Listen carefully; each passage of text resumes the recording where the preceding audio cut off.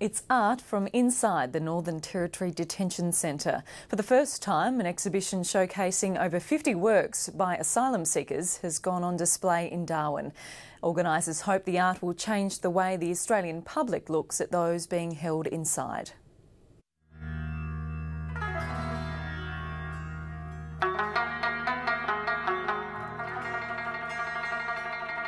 You know, artist doesn't have anything. So this is everything for me, these, these few images. Joya's photographs are a celebration of his Hazara culture and his homeland in Afghanistan. When I've been in Afghanistan in different places, I take these photographs. The photojournalist is slowly coming to terms with the reality of freedom. A week ago, he was granted a visa after spending almost 17 months in detention. It was full of hopelessness, and sometimes situation is worsened.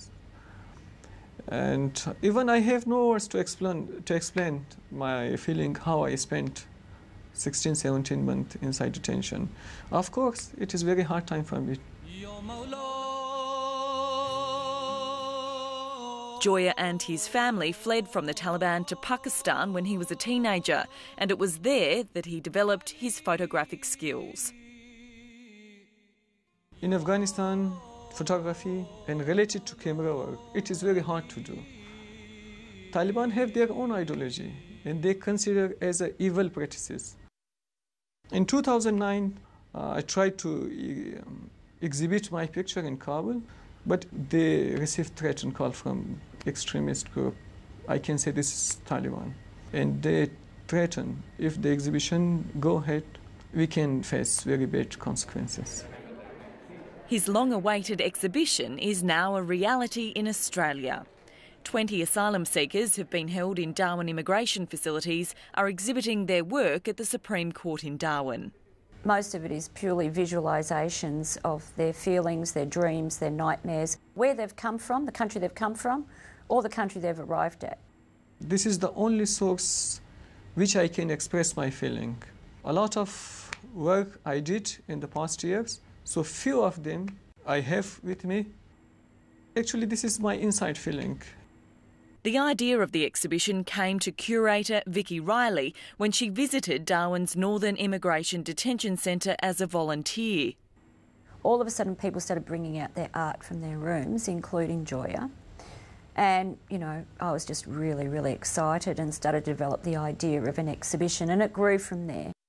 With the exception of Joya's work, all of the art has been done inside detention walls here in Darwin.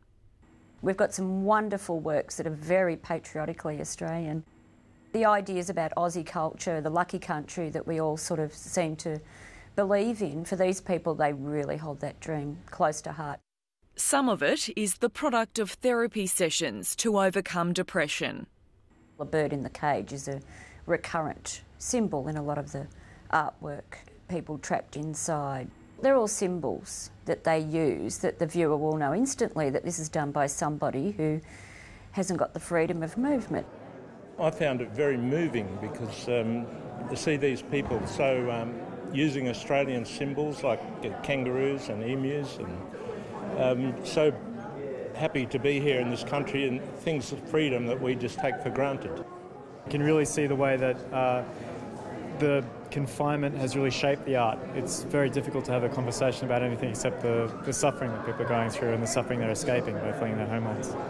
I think it's fantastic these people can still produce and create in such a situation that they're in. The support of the Supreme Court, the judges of the Supreme Court, is absolutely fantastic and obviously the right context for such an exhibition. From official funding bodies, I haven't had much support at all, which is very, very disappointing. For those involved in the exhibition, it's a chance to make a lasting impression and change the way the Australian public looks at those being held in detention. I think everyone's sick of the footage of the people in the orange flak jackets on the boats, and I think that's rubbed off on the on the public that they are anonymous cardboard cutouts. I think instantly the exhibition will reveal that these people are all unique. This is like dream. This is not freedom of detention. This is freedom of everything. I can I can do everything. Those things I didn't do in Afghanistan. Here I will do.